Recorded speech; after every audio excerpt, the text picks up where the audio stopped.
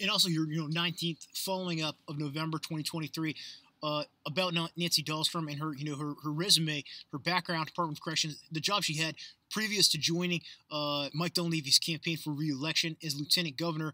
You know that that Department of Corrections has a terrible problem with deaths in prisons right now in Alaska. You can look at the ACLU in Alaska; they covered extensively. They know more about it than me, but I've seen the tweets and I've seen the facts and the reoccurring issue, uh, civil rights abuses. You know, with and it, you know even you can look at law enforcement in Wasilla, Alaska. You know, dragging some Native Alaskan woman out into the cold, handcuffed, picking her up like she's a, a sack of potatoes. You know what I mean? And you know we have to we have to strive for the best. You know, like I said, and I'm actually someone in terms of public safety in Alaska who has a vision.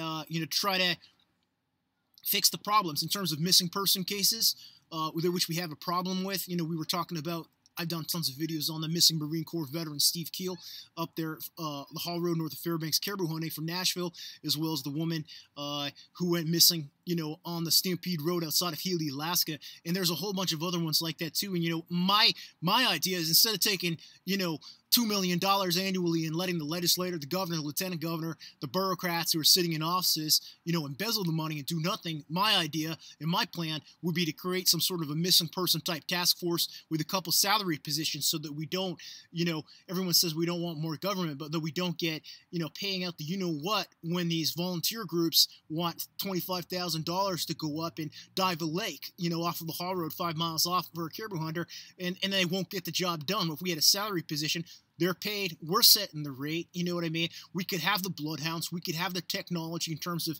uh, drones. They can, you know, detect changes in the heat from body temperature and vegetation where a dead body could potentially be and we can bring people in and we can solve cases and we can have a safer state so you know i have a plan in terms of public safety and i'm not someone like nancy dahlstrom who's coming from corrections with a terrible record under her leadership in that department for the state of Alaska.